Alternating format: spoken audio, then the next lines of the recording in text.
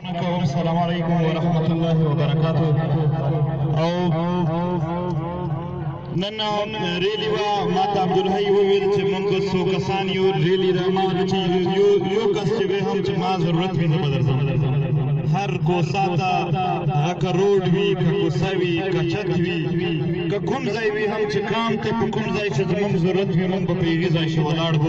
او د هغې ته راوتلي یو دا چې د ځینې د بړا سختلو لپاره نه دی دا د کام دا د کام یو تاریخي یو یو لوی تاریخ جوړول دی دا د دغه کام اخري مرکه ده دا د دغه کام هغه مرکه ده چې دوی به اخري حقیقي او تاریخي بنیاد نن د دنیا نن د دنیا هر یو کام دنیا کښې پورته شوی دی لوی دی امریکا ځان ته دا جرمن نازیان ځان ته جوړ کړو د پښتون غوندې د پت نن نن په دنیا کښې ورک دی پته هم نه لګېږي د دنیا فیصلې کېږي زمونږ پر خلاف کېږي او بیا هم زمونږ دارا دومره لوی کام دومره تاریخي کام بیا هم ناستی او ټوال او ډبول خوري دا دا دا دا د نیکونو تاریخ دا دا تورو اتلانو تاریخ په دې باندې زه مزید ځان وغولوم که دا کام وغولوم که د دنیا وغولوم په دې باندې موږ څه نه شو غولول څوک نه غولوو خپل تاریخ جوړوو دا کام به داسې بریا کام وي چې څنګه په تاریخ څه دی د دغې هلو ځلو دپاره هر دم هر وخت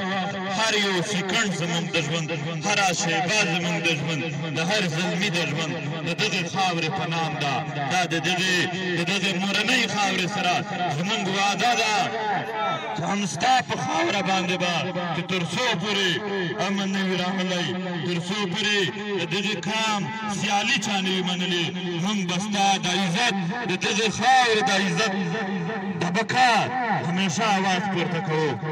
موږ د څوک په څه شي هم نه وي ډېر هم ډېر هم چې څوک څه کولی شي زموږ ځانونه به یوسي او بیا به هم د دغې مور خاورې په غېږه کښې موږ سملو مونږ به وږي شو زمونږ د پاره دا لوی ویاړ دی چې مونږ د دغه خاورې په منځ کې ودو دا نه دی راته ویاړ چې په دغه خاوره باندې باندې روان وو او دا خاوره د ننګ او عزت شمارېدل کېږي مونږ دولسم اګست هغه ورځ ده چې د دغه قام د ناروا ویشتلو د ناروا وژلو د عدالت نه لرې ملکونو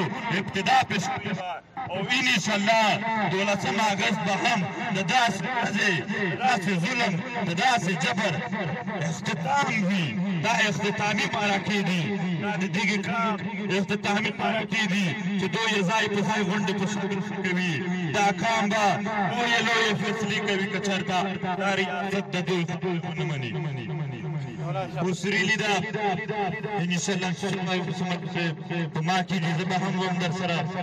لویلي به وشي ګلاسم مګست د راتګ لوی پیغام د پښتونخوا د سیمې هر یو تن ته دی هر هغه سړي ته هم دی چې د دغې غورځنګ ملاتړ نه کوي را دې شي